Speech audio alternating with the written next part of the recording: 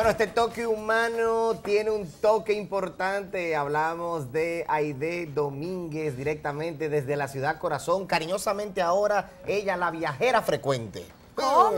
Estaba en unas conferencias en los Estados Unidos haciendo unas cosas bastante chéveres, dándole seguimiento a Aide. Mira, para que veas Aide que tiene un, un stalker sí. porque está muy pendiente a tus pasos. Sí, así mismo es. Pero yo no creo que yo viaje más que Lisbeth, ¿eh? Tranquilo. Ahí está agarrada. Es que Aide me están haciendo bullying, entonces voy, me da mucho estrés y entonces tengo que viajar para sentirme más, más tranquila y más liviana. Claro, para relajarte, cogerlo suave, pero, pero no, yo muy contenta al hecho, así como tú dices, tuvimos unas actividades en Estados Unidos, muy complacida, muy plena, me siento, fueron experiencias maravillosas y a la expectativa de que sucedan otras, claro que sí. Muy bien. Aide, rápidamente y sin titubeo, dime qué vamos a estar topando en el día de hoy para todos esos televidentes que te están viendo en este momento.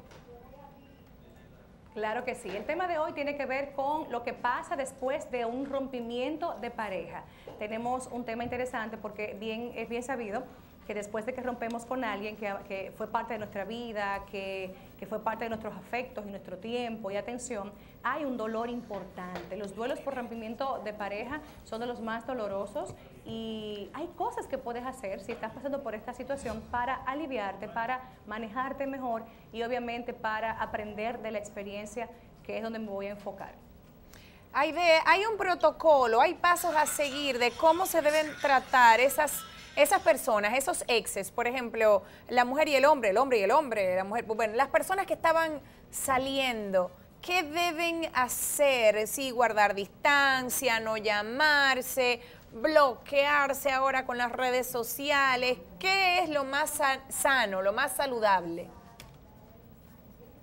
Lo más saludable siempre será una aceptación. Es entendible que cuando hay un duelo hay una negación inicial, un rechazo, a lo que está aconteciendo, mi psiquis se resiste a aceptar que ya no somos, que ya lo bonito que vivimos, lo que pasamos, lo que sentimos, ya no va a estar.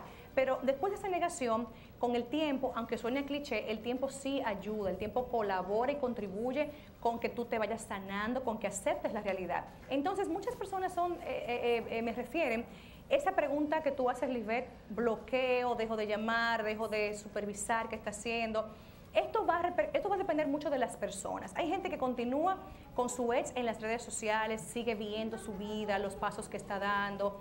Y esta confrontación, aunque duela al principio, luego como que se calma tu estado de ánimo doloroso y melancólico, como por arte de magia, entre comillas, porque se sienten como, wow, yo estoy viendo lo que está pasando, sufro, me da ansiedad el mirar, pero estoy aceptando, estoy fluyendo a pesar de lo que estoy mirando. Hay personas más tajantes y dicen, no, no quiero saber absolutamente nada, bloqueo total, borro teléfono, desaparezco de su vida. Esto hay unos perfiles de temperamento que pueden hacer esto, no todo el mundo puede hacer esto.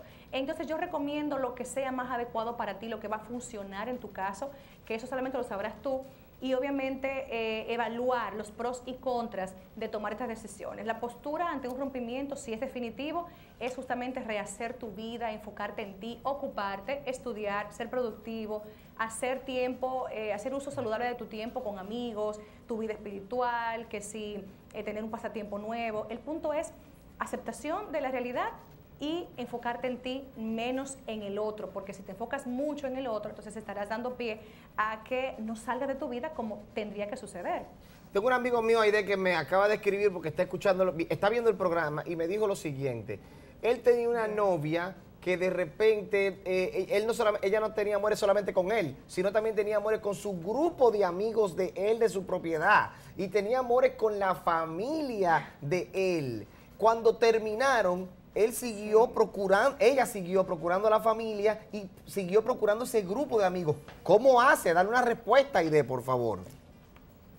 Muy interesante ese punto. Las personas con las que yo hice vínculo durante esa relación, indudablemente eh, pueden quedarse conmigo, pueden quedarse en mi vida, claro que sí. Obviamente aquí hay muchos bemoles a evaluar también porque Si el estar en contacto con sus mejores amigos te va a hacer daño, te va a maltratar y no vas a poder hacer el proceso de duelo como deberías hacerlo, entonces toma tu cautela y tu distancia prudente y hazlo saber. Ahora, yo conozco casos de personas que, se, que siguen la amistad con los amigos en común, con la familia, con la ex suegra, y esto no repercute en nada en que olviden y en que pongan en su justo lugar la relación que acaban de terminar. Esto es algo muy de, como dije anteriormente, de cada persona. Tú sabrás los límites que te pondrás, tú sabrás cómo te cuidarás de la nueva vida que tu expareja va a emprender. Y si tus amigos son más valiosos, si tú les tienes en un sitial muy elevado, pues adelante, sigue tu amistad, sigue tu relación. Ahora, respeta a tu expareja cuando tenga otra pareja y no te inmiscuyas en su familia a un nivel que eh, seas, que crees problemas, crees crisis por tu presencia. Hay que ser diplomático y cauteloso en ese sentido. Ricardo, ahí está tu respuesta. Un abrazo, hermano mío. Lisbeth. Wow, lo tiraste al medio. Sí. Mira, Aide, con relación a eso que tú estás diciendo, que ya mencionaste una pareja, o sea, una persona nueva que entra a la ecuación.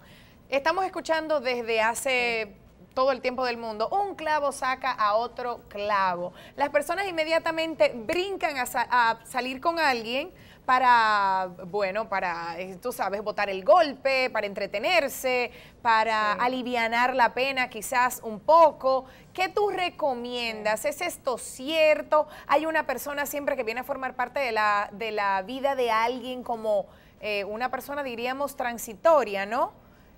¿Qué tan saludable es esto? ¿Qué tan saludable es esto? ¿Y cuál es el tiempo prudente que las personas deben esperar para salir, para que se sepa que ya tú estás soltero, para conocer a alguien, para estar un poco más abierto a esa idea? Toda relación que yo vaya a empezar después de un rompimiento necesita de mí de, de, un yo con calidad, con entrega total. Esa otra persona no se merece el irrespeto y la desconsideración de yo e incluirte en mi vida teniendo en mi mente al ex. Eso es una falta grave de respeto. Mucha gente se mete en otra relación rápidamente para eh, sentirse que, que, gustan de nuevo, que son atractivos, que atraen al sexo opuesto. Esto es realmente una barbaridad, porque estás mezclando emociones y sentimientos y cada relación en la que tú te involucres debes darle el tiempo prudente que cuaje el asunto, que madure el proyecto de relación y que tú te entregues a ese proyecto de relación realmente convencido, convencida de que tú vas a estar ahí plenamente y en fidelidad. No involucres a dos personas, no te des la oportunidad de tener en tu mente a una persona y meterte con otra. Eso es una falta gravísima, moral, ética y obviamente la otra persona no sabe lo que está pasando por tu mente. Esto es algo realmente eh, garrafal para mí, a mi entender. No saca otro clavo eh, un clavo no saca otro clavo, al contrario, se clavan los dos juntos.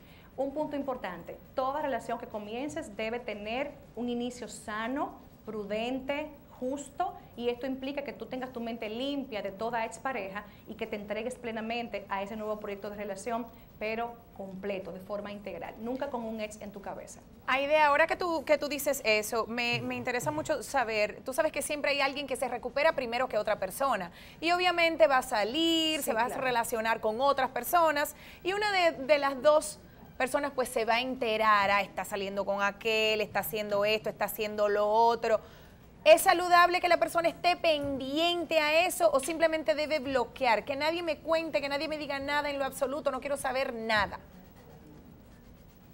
O ya es bueno, bueno, acomódate, acomódate. muy de cada quien. Hay gente que es más resiliente que otras. Hay personas que se sanan más pronto. Hay personas que el duelo dura un poquito más. Depende mucho el temperamento, depende mucho de las vivencias anteriores, depende también por qué terminaron. Entonces hay que tomar en cuenta el que yo observar lo que está haciendo el otro, si yo puedo tolerarlo y si esto me va a ayudar a sanarme más pronto, a definitivamente cortar de tajo más pronto, lo puedes hacer, mirar, observar, enterarte, ver la otra pareja. Ahí hay gente que conozco que lo hace y le va muy bien. Sanan así de forma express porque al enfrentar la realidad es como que se tragan el trago amargo y listo. Ahora, cuando tú dejas de ver absolutamente todo lo que hace esa persona y, te cuentan y por ahí te enteras, la comidilla que eso crea a nivel emocional puede ser muy incómoda. Entonces ya esto es una decisión muy personal de tú ver o no ver, de tú enterarte quién es la nueva pareja eh, hay un morbo natural que todo el mundo tiene, que quién será, qué tiene mejor que yo, en qué me supera. Todos esos son eh, eh, detalles que van a estar en la mente de las personas, pero indudablemente en lo que tenemos que enfocarnos cuando acabamos una relación es en sanarnos, es en progresar de nuevo nuestra vida, en poner esa relación, parquearla por ahí en su justo, en su justo lugar y reiniciar nuestra vida luego de sanar con otra persona si lo amerita y si nos es necesario. Una pregunta rápida, Aide, antes de irnos a la pausa. ¿Qué le quilla más a usted de las mujeres? ¿Que el ex se le metió con una que está más buena o, es más, o, una que está más fea o viceversa?